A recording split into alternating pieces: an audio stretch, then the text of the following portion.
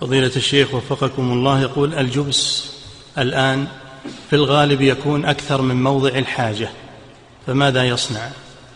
لا ما وضعه الطبيب إلا وهو يرى أنه لا بد منه.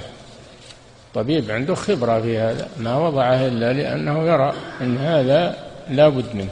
يمسح عليه والحمد لله. نعم. المكتبة الصوتية لمعالي الشيخ صالح بن فوزان الفوزان حفظه الله.